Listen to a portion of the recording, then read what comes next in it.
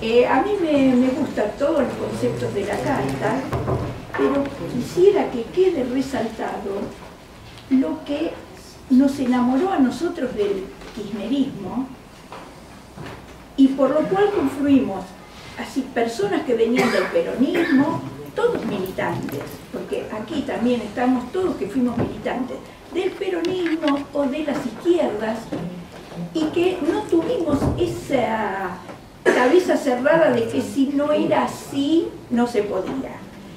Entre esas cosas que quiero que queden destacadas es que se recobró Aerolíneas Argentinas, que se restituyeron las jubilaciones, que se nacionalizó IPF. Después, siempre lo que hicimos contra eh, lo que se hizo en ese gobierno contra los grandes poderes.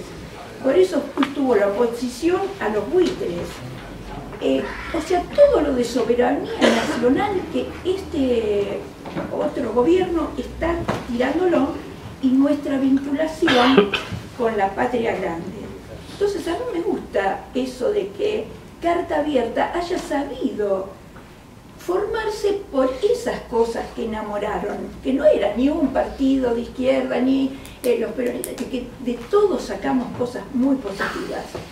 Entonces, esa sensación de que somos y estamos, me gustaría que quede resaltada. Muy bien.